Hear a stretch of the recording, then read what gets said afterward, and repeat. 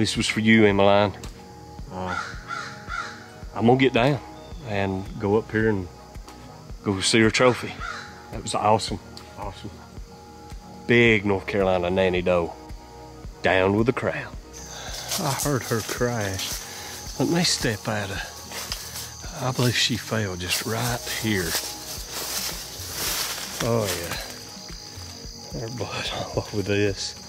She's went in this tall, high grass. There's blood. Here's blood. I'm gonna get it all over me. Lord, the blood. Look down in there.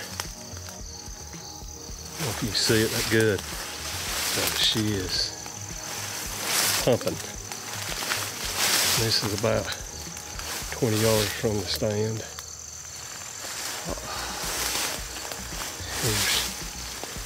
Here's she's running so hard. Let's see where she comes out right here.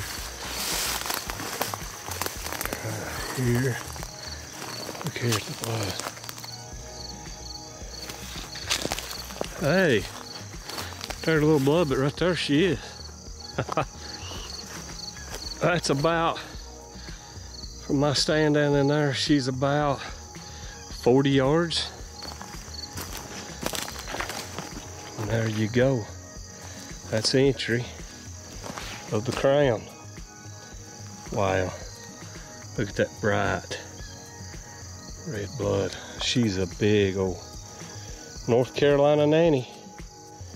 I'm gonna go ahead and flip her over and let's see what the exit looks like. I'm sure it's as good as the entry, yes.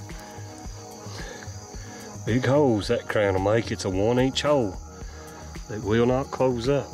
I come in here today on the first set and got to harvest this beautiful nanny with a crown broadhead. It's a 100 grain fixed blade and as you can see, it leaves a hole that will not close up. She bled like crazy coming up through here. Easy blood trail. From the spot that I shot her, she might have made it 30 yards, but right here she is.